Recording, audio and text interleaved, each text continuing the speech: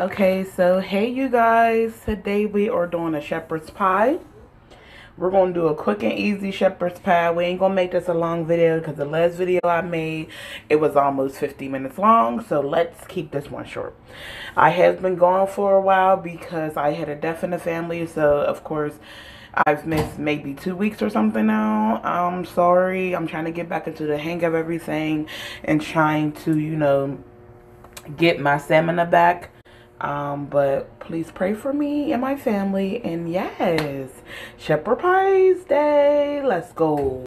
Okay, and I will be drinking a drink while making the shepherd pie, shepherd's pie. Um, my drink of choice today is going to be a um, mimosa.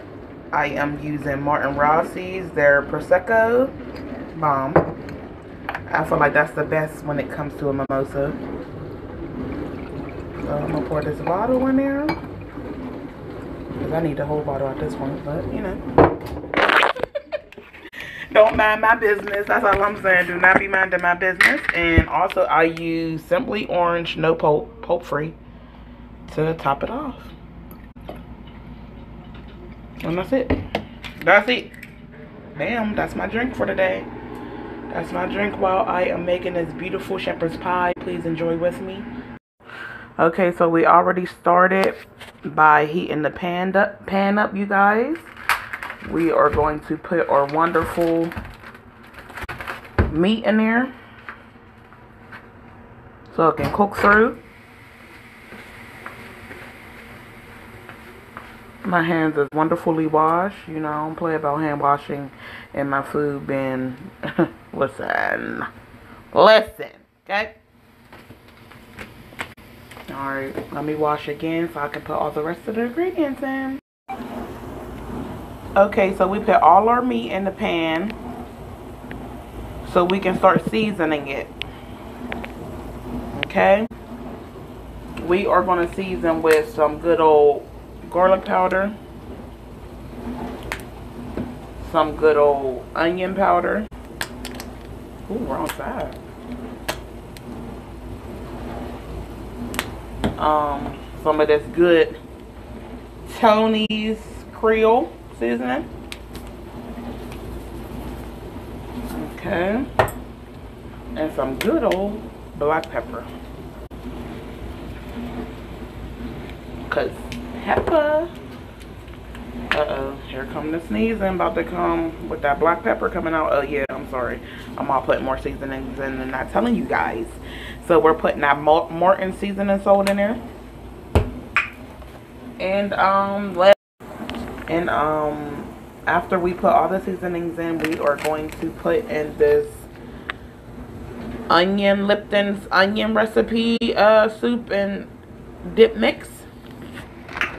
Oh my goodness. When I tell you it's bomb in your meat, you ain't had meat unless you had this in there. I don't know why it's taking forever to come out this little packet. Alright. And it was already half a half of pack anyway in there, so don't think that you put a whole pack in there. I had a half a pack already from when I made burgers, so this was actually perfect for me, and that's it. You're gonna mix that thing up and let that all cook together. Okay, so we mixing everything up so it can all cook together. Yes.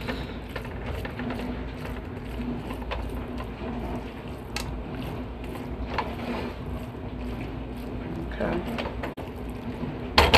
You can leave that go and let that simmer a little bit until it's all brown. And then we'll go to the next step. Okay. Okay, and I put some water on. I put two cups of water. We're making a mashed potato so everything can go in to the oven together when it's time. Uh, we're going to turn the onion, onion, the oven on to 400 right now just to heat it up. But yes, everything is just cooking.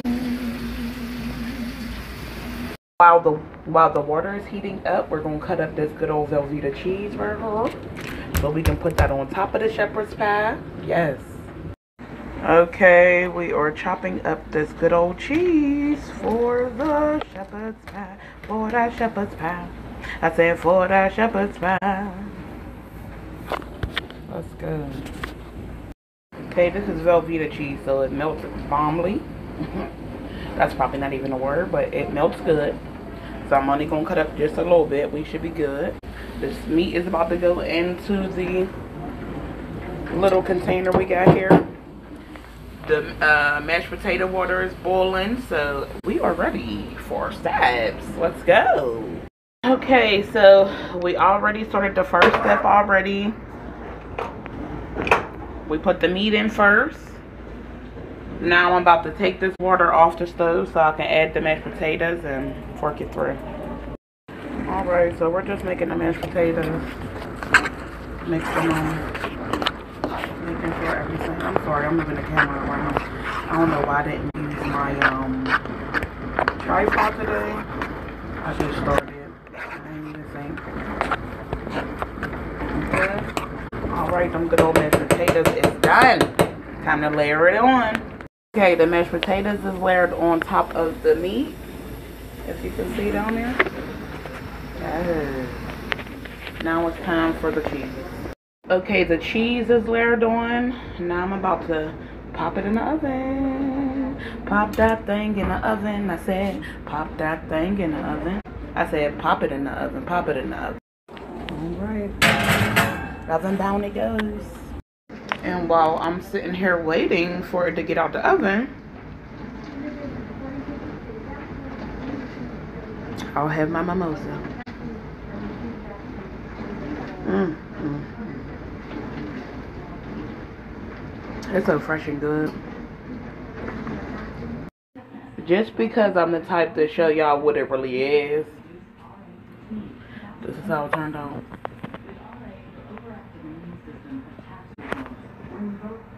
I ended up taking a shower and getting my life together and forgot I left it on 350 but listen it's still gonna be bomb the top is a little you know crusted but burnt but that thing is still gonna be good inside. Watch, I'm about to slice that thing. Okay, I took it out. Alright, I took this slice out that I took out. That's on my plate. Still looking bomb. Like I said, it still is good. It's just the top that's burnt. The rest of it ain't burnt. It's just the cheese on top that was destroyed by the heat. Ignorant. But, you know, like I said, I kept it on 400, not 350. I'm sorry, I said 350 the first time, but I kept it on 400. Forgot that I could take a quick shower and get my life together and come back and take it out. But sometimes you just gotta time it and watch it and watch what you put it on when you put it in. So, this is a lesson learned for, you know, everybody and me to make sure you turn the heat down. At least I didn't burn the meal itself. The cheese on top just burned. Jesus. But let's go. I'm ready. And of course, I top mine with ketchup, like, you know, regular folks do. But at any rate, until next time, make sure you like, comment, subscribe, and tune into the next video. Thank you. Peace.